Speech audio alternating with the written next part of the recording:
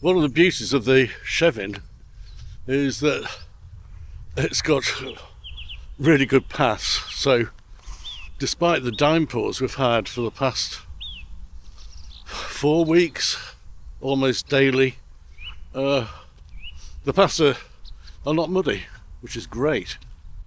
Loads of routes intersecting uh, the Chevin, um, so you can find your own way.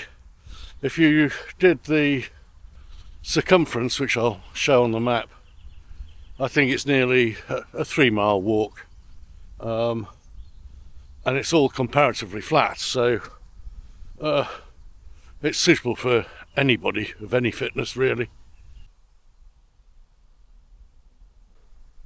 It doesn't take long as you walk away from the car park that the, the sound of the traffic fades away. And you're left with the sounds of nature. Mind you, this being being February, there isn't much birdsong around. Got to wait a little bit longer for that. All over the Chevin there's little views that open up in front of you.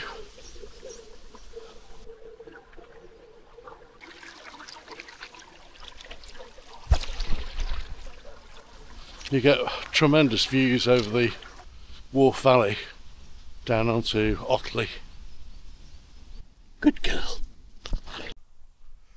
There are two parts of the Chevin, east and west, which are bifurcated by a very busy road.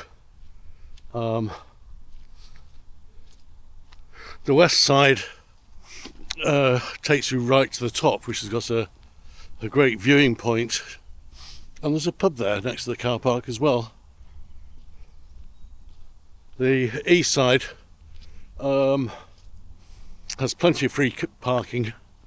Uh, there are what two main car parks um, with bins for dog owners. Um, and at the the far end there's plenty of parking by the road but not a designated car park so this is a Chevin looking at its absolute worst uh, in the middle of winter no signs of life at all all very drab waiting for spring and over there in the distance unless I'm very much mistaken there's a bit of sunshine. Well, I never.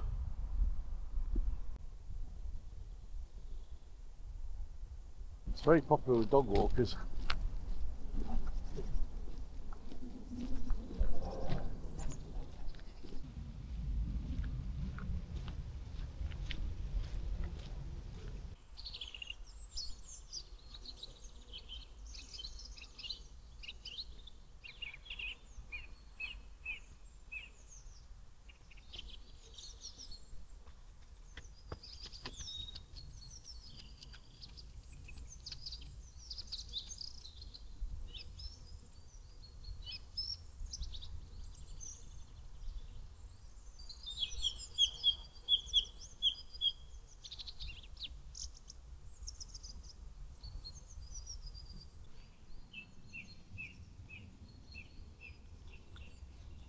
Good